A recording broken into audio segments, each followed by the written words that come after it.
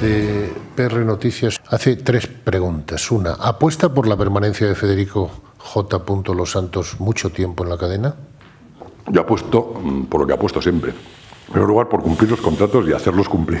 Siempre digo lo mismo.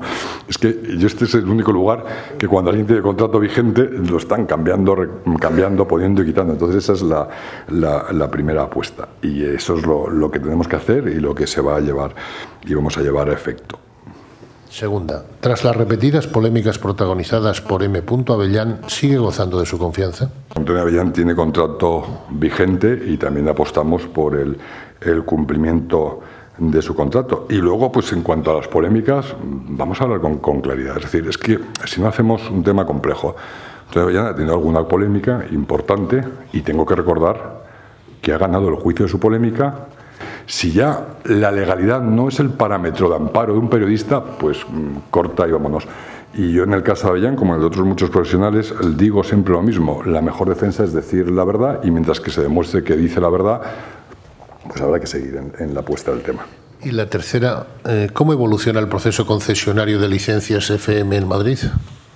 Pues eh, en Madrid está en un, en un, sistema muy parecido a toda España. Yo espero que, que acope, pues de una vez por todas, esa injusticia histórica que lleva sufriendo, pues se aplique un hecho de justicia y es dar a la segunda cadena comercial eh, española, darle la cobertura que les corresponde. Los grandes operadores de radio, todos, nos encontramos con este verdadero problema, que es el tener que acudir a concesiones de orden local y que no se nos dé parámetro. Yo espero que tanto en Madrid como en el resto de las comunidades, pues a COPE se la ponga en, en la situación más adecuada. Y eso es lo que vamos a hacer, defender desde COPE, dentro, por supuesto, de los ámbitos legales, pero con todo el rigor y con toda la exigencia que corresponda, pues que se nos trate con justicia. En los proyectos de Popular, lo más importante ahora mismo son, igual que de COPE, las licencias.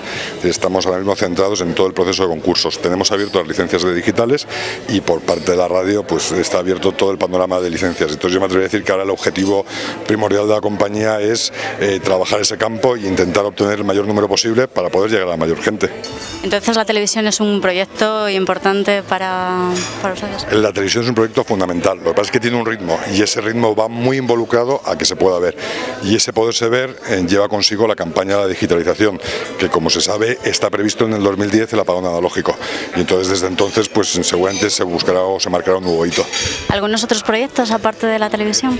El proyecto más importante ahora que estrenaremos pronto es el proyecto de la web. Eh, COPE mm, casi seguro en abril, eh, pues sacará su nueva web y es un proyecto en el que estamos realmente ilusionados y que esperemos hacerlo muy bien y entrar con peso en, ese mundo tan apasionante como es el mundo del Internet, donde estéis vosotros.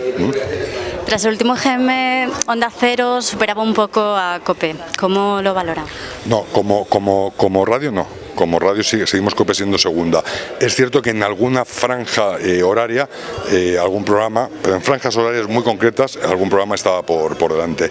Y bueno, yo creo que eso está dentro de la, de la lógica eh, lucha y competitividad que tenemos que hacer todos y, va, y seguir trabajando para que, vamos, pues para, para buscar nuestras posiciones y nuestros puntos.